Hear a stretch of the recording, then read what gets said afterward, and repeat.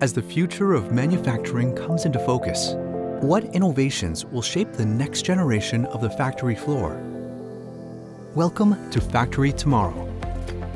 Presented by DigiKey, powered by Siemens, Banner Engineering, and SupplyFrame. In this episode, we explore how intelligent manufacturing processes are bridging the gap between the digital and physical worlds.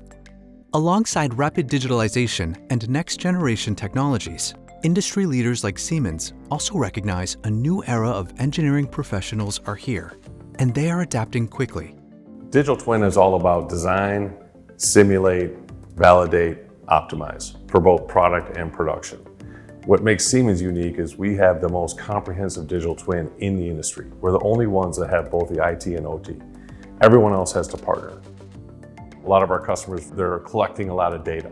The problem is they don't know what to do with the data. All they do is get fancy reports and just says, oh, look, you got a spike here. What makes us unique is we can now, with the digital twin, analyze that data.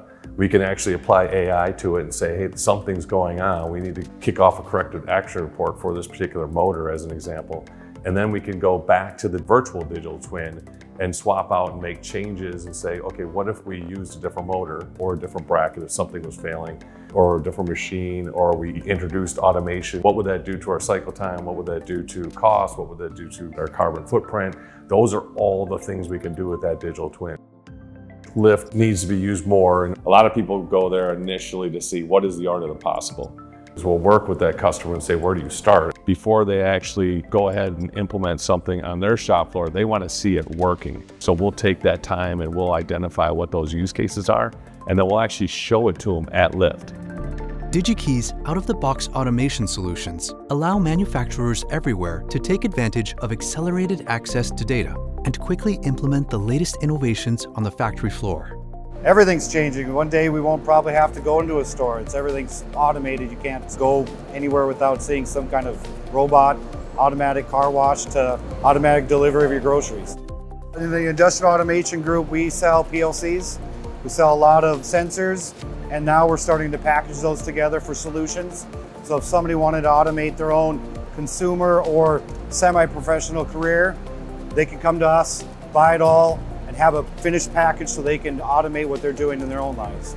We do a lot of AI in regards to how we get products in. And we can get reports done autonomously, automatically, without even having to ask anymore.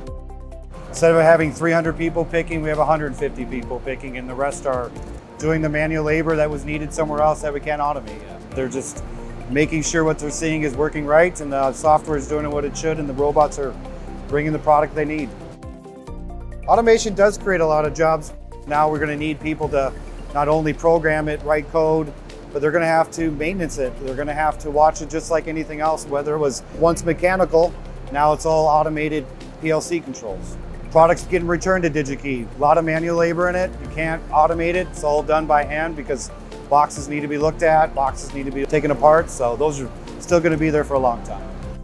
Our suppliers are blown away by how much intricacy there really is inside this building to help them get their stuff in, ordered, shipped, and packed out in the same day. The next generation of the PLC is going to be a virtual PLC or software-defined PLC. You can now literally at a push of a button move it over to the virtual PLC. That's game changing because now you can scale as fast as you want and you can update as fast as you want. 95% of manufacturers are using or evaluating smart factory technology in 2024. Only 44% of the total data available to manufacturers is being harnessed effectively. We're sitting at the table with the top executives talking about transformation products, talking about what that would mean from their organization standpoint, what that means from a people standpoint. We have the most comprehensive digital twin and they know that. And so they're always bringing us to the table and saying, okay, Siemens, we know you have the best technology. What should we do? And so those conversations are just so much fun right now. We've changed so much in the last five years, and they're saying it will never move this slow again. We're losing a lot of tribal knowledge to people retiring out of the industry. The people that could just walk by a machine and put their hand on it and know exactly what was wrong, right? That is less and less of a skill that we're gonna have in the future. And I think people are gonna really start relying on the IoT solutions for machine insights and the predictive maintenance. Then I can actually capture a week's long worth of production, pump that back into this and say, now I can run the simulation against real production. Data is becoming the new oil. It's very, very valuable in how companies can get that data out of their shop floor, their existing assets, their greenfield assets, their new assets. Everyone is after that now. Companies are starting to realize that access to critical data for their organizations is not just a nice to have anymore, it's a necessity to stay competitive in this landscape. The average age of manufacturing assets in the United States is about 20 years old. The ability to extract data from what we call those data islands where the data is previously locked in, we can now give them access to that data so they can make those data-driven decisions. We are always pushing the envelope with the software that's developed and the automation equipment that comes out of Siemens. How do we make things more efficient? How do we reduce the dull, dangerous, and dirty? How can we save money? How can we make things better for people and for processes? The future of manufacturing is in a state of transformation, with digitalization being introduced at every step of the process.